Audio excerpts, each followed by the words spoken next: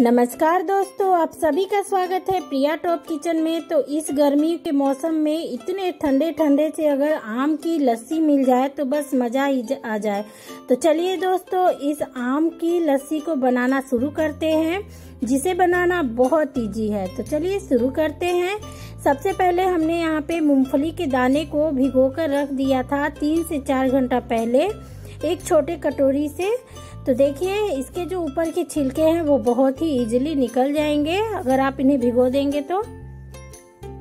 अगर आप पिस्ता बादाम भी लेना चाहते हैं तो इसी तरीके से पिस्ता बादाम के भी छिलके उतारकर और उसकी भी लस्सी सेम प्रोसेस में बना सकते हैं। चाहे तो इसी तरीके से काजू की भी बना सकते हैं।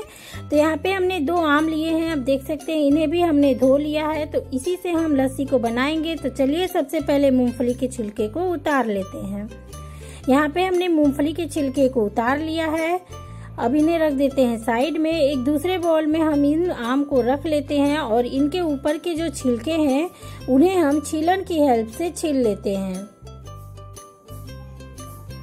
तो बहुत इजली ही निकल जाते हैं। आम बहुत ही एकदम गलगला टाइप के नहीं होना चाहिए।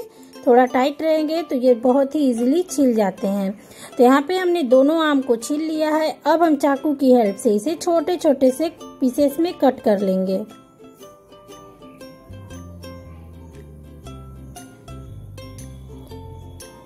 तो दोनों आमों को हम इसी तरीके से कट कर लेंगे।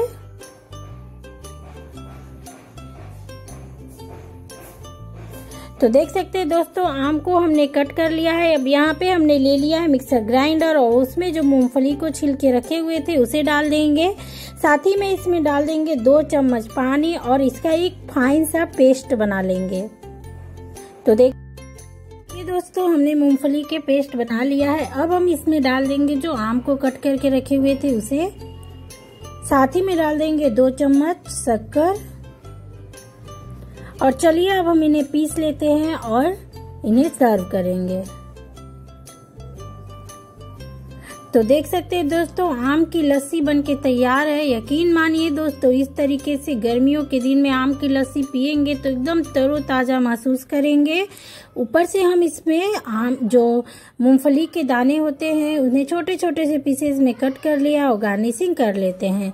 तो कैसी लगी दोस्तों आपको ये आम की लस्सी? हमें कमेंट करके ज़रूर बताइएगा। और अगर पसंद आए तो वीडियो को लाइक किए बिना बिल्कुल मत जाइएगा। अगर आप मेरी वीडियो पर पहली बार आए हैं तो प्लीज़ इसे सब्सक्राइब करिएगा। दोस्तों बाय बाय थैंक यू